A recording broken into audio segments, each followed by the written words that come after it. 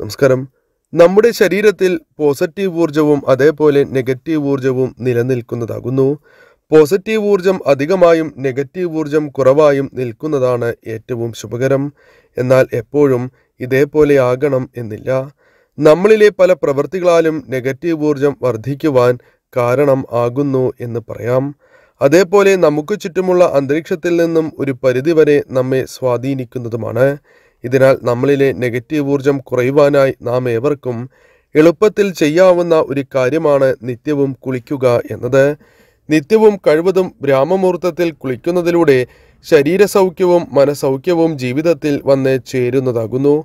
ജീവിതത്തിൽ സന്തോഷവും സമൃദ്ധിയും വന്ന് ചേരുവാൻ അതിനാൽ നിത്യവും കുളിക്കുന്നത് അത്യാവശ്യമാകുന്നു.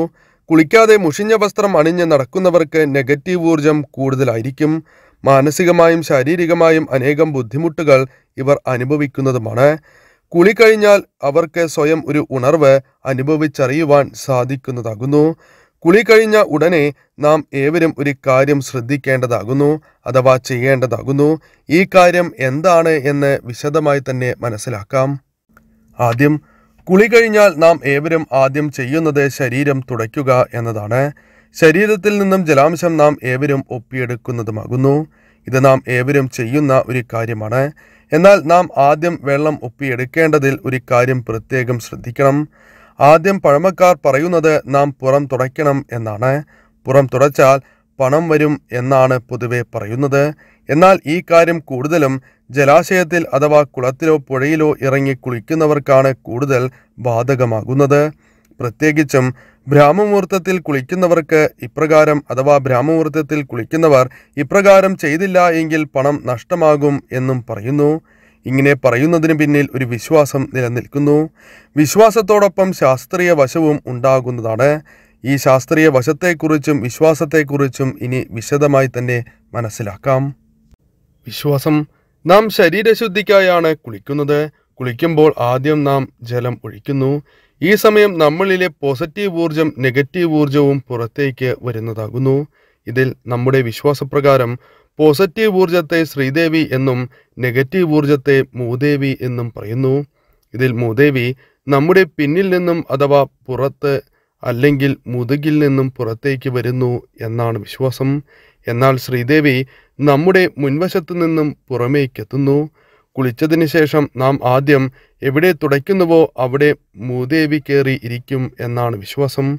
അതിനാൽ നാം ആദ്യം മുഖം തുടയ്ക്കുകയാണ് എങ്കിൽ മൂദേവി മുഖത്തിലൂടെ ശരീരത്തിൽ പ്രവേശിക്കും എന്ന് പറയുന്നു. ഇതിനാൽ മുഖത്തെ ചൈതന്യം നഷ്ടപ്പെടുന്നു എന്നും വിശ്വാസമുണ്ട്. സമാനമായി നാം കുളിച്ചതിന് ശേഷം ആദ്യം എവിടെ തുടയ്ക്കുന്നുവോ അവിടെ മൂദേവി പ്രവേശിക്കുന്നു എന്ന് പറയുന്നു. ഇതിനാൽ പോസിറ്റീവ് ഊർജം ഇരിക്കുന്നതിന് പകരം അവിടെ നെഗറ്റീവ് ഊർജം അവിടെ പ്രവേശിക്കുന്നതാകുന്നു. ഇതിനാൽ അനേകം ദുരിതങ്ങളും പണ നഷ്ടങ്ങളും ജീവിതത്തിൽ വന്ന് ചേരുന്നു എന്നും വിശ്വാസമുണ്ട്. എന്നാൽ പുറകുവശം അഥവാ ആദ്യം മുതുക് തുടയ്ക്കുകയാണ് എങ്കിൽ മൂദേവി മുതുകിലൂടെ ശരീരത്തിലേക്ക് പ്രവേശിക്കുന്നു എന്ന് പറയുന്നു. ഇതാണ് ഉത്തമം എന്ന് പറയുന്നു. ഇതിനാൽ ജീവിതത്തിൽ ധനനഷ്ടം ഉണ്ടാവില്ല എന്നും വിശ്വസിക്കുന്നതാകുന്നു. ഈ കാര്യങ്ങൾ തലമുറകളായി കൈമാറി വരുന്ന ഒരു കാര്യം തന്നെയാകുന്നു. അഥവാ അറിവാകുന്നു. കുഞ്ഞായിരിക്കുമ്പോൾ മുതൽ മുതിർന്നവർ കുട്ടിയെ ഇപ്രകാരം പഠിപ്പിക്കുന്നതാണ്. ഇതിനാൽ പലർക്കും ഇത് അറിയാതെ തന്നെ ചെയ്യുന്ന ഒരു ശീലമായി മാറുന്നതുമാകുന്നു. എന്നാൽ മുതുക് ആദ്യം തുടയ്ക്കണം എന്ന് പറയുന്നതിൽ ഒരു ശാസ്ത്രീയമായ വശം കൂടി ഉണ്ടാകുന്നതാണ്. ഇത് എന്താണ് എന്ന് ഇനി മനസ്സിലാക്കാം. നട്ടൽ നാം കുളിക്കുമ്പോൾ സ്വാഭാവികമായും ശരീരം തണുക്കുന്നതാകുന്നു. എന്നാൽ പൊതുവെ തണ്ടൽ വേദന ഉള്ളവരോട് ചൂടുവെള്ളത്തിൽ കുളിക്കുവാൻ ഉപദേശിക്കാറുണ്ട്. ഇതിന് കാരണം ശരീരം തണുക്കുമ്പോൾ ആദ്യം നട്ടൽ തണുക്കും എന്നതിനാലാണ്. അധിക സമയം നട്ടെല്ല് തണുക്കുന്നതിലൂടെ അനേകം രോഗങ്ങൾ ശരീരത്തെ പെട്ടെന്ന് ബാധിക്കുന്നു എന്നും വിശ്വാസമുണ്ട്. ഇതിനാൽ ആദ്യം പുറം തുടയ്ക്കണം എന്ന് പറയുന്നു.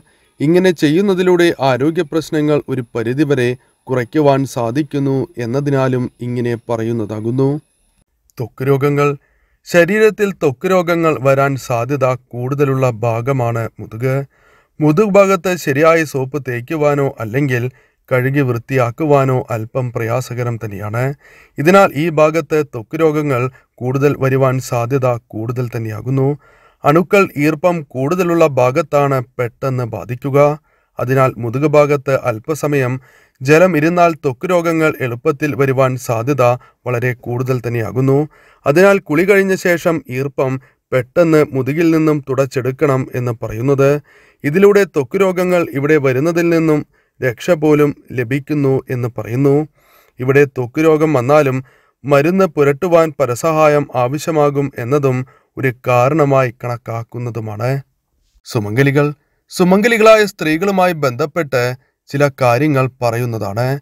കുളി കഴിഞ്ഞ ശേഷം ഈ കാര്യങ്ങൾ സുമംഗലികളും മറ്റുള്ളവരും ചെയ്യാതിരിക്കുവാൻ പാടുള്ളതല്ല.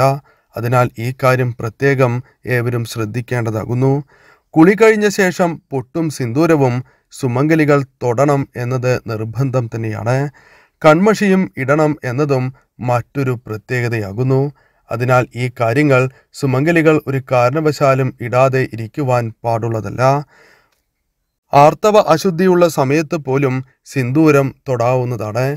എന്നാൽ ക്ഷേത്രങ്ങളിൽ നിന്നും പൂജിച്ചു കൊണ്ടുവന്ന സിന്ദൂരം ഈ സമയങ്ങളിൽ തുടരുത് എന്ന് പ്രത്യേകം ശ്രദ്ധിക്കണം. വൃത്തിയുള്ള വസ്ത്രം ഈ സമയത്ത് ധരിക്കേണ്ടതാകുന്നു. അതായത് കുളി കഴിഞ്ഞ് ഒരിക്കലും മുഷിഞ്ഞതോ അല്ലെങ്കിൽ പഴയ വസ്ത്രങ്ങളോ ഒരിക്കലും ധരിക്കുവാൻ പാടുള്ളതല്ല. വൃത്തിയുള്ള വസ്ത്രം തന്നെ ധരിക്കണം എന്ന കാര്യം പ്രത്യേകം ശ്രദ്ധിക്കേണ്ടതാകുന്നു. കൂടാതെ കീറിയ വസ്ത്രങ്ങളും ധരിക്കുവാൻ പാടുള്ളതല്ല. പ്രാർത്ഥിച്ച ശേഷം കുറി തൊടുക എന്നതും ഏവരും ചെയ്യേണ്ട ഒരു കാര്യം തന്നെയാകുന്നു. കുറിയുമായി ബന്ധപ്പെട്ട വിശദമായ വീഡിയോ ചാനലിൽ ലഭ്യമാണ്. കുറി തൊടുന്നതിലൂടെ പോസിറ്റീവ് ഊർജം വർദ്ധിക്കുന്നു എന്ന് തന്നെ പറയാം. അതിനാൽ ക്ഷേത്രത്തിൽ ദർശനം നടത്തുന്നവരാണ് എങ്കിൽ ക്ഷേത്രത്തിൽ ദർശനം നടത്തുന്ന വേളയിൽ ഇത്തരത്തിൽ കുറി തൊടുക. അല്ലെങ്കിൽ വിളക്ക് കൊളുത്തിയതിനു ശേഷം വീട്ടിൽ വച്ച് തന്നെ കുറി തൊടുന്നതും ഉത്തമം തന്നെയാകുന്നു. അതിനാൽ ഈ കാര്യവും ഏവരും ശ്രദ്ധയോടെ തന്നെ ചെയ്യുക. ചന്ദനം കുങ്കുമം മഞ്ഞൾ ഇതിൽ ഏത് കുറി വേണമെങ്കിലും തൊടാവുന്നതാകുന്നു. അതിനാൽ ഈ കുറി ഏവരും നിത്യവും ധരിക്കുവാൻ ശ്രദ്ധിക്കേണ്ടതാകുന്നു. പോസിറ്റീവ് ഊർജത്തോടെ ആ ദിവസം മുഴുവൻ കഴിയുവാൻ ഏറ്റവും ശുഭകരം തന്നെയാണ് ഇത്തരത്തിൽ കുളി കഴിഞ്ഞതിന് ശേഷം കുറി തൊടുന്നത്. വൈകുന്നേരം കുളി കഴിഞ്ഞതിന് ശേഷം ഭസ്മം ചാർത്തുന്നതും വളരെ ശുഭകരം തന്നെയാകുന്നു. അഥവാ ഭസ്മം അണിയുന്നതും വളരെ ശുഭകരമാണ് എന്ന് പറയാം.